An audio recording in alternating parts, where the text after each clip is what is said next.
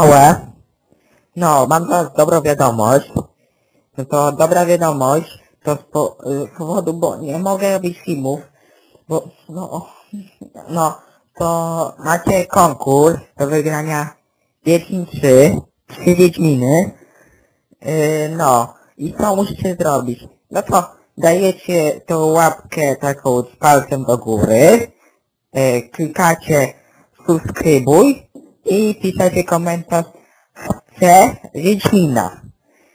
No, tylko pamiętajcie, żeby napisać bezbłędnie, poprawnie, no, bo inaczej się nie będzie liczyło i będzie wszystko w ogóle do kitu, do kitu będzie, no, mam nadzieję, że się rozumiemy.